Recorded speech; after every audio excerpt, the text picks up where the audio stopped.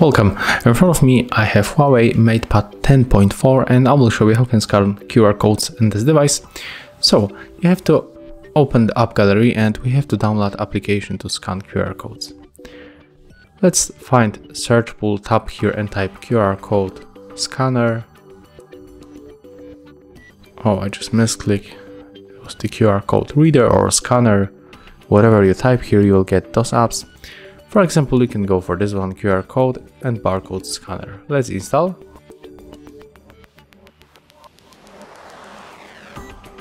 As you can see, the download is finished, so we can simply open this application.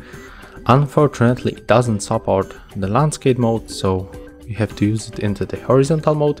And when you get it, you have to click allow ever, I mean, on this permission.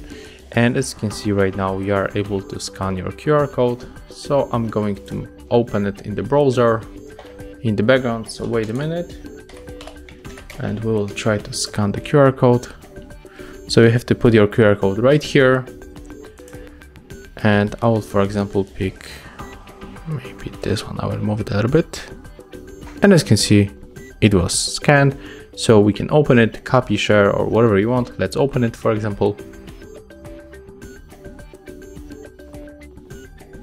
And as you can see, there it is. So, if you find this video helpful, remember to like, comment, and of course subscribe to our channel.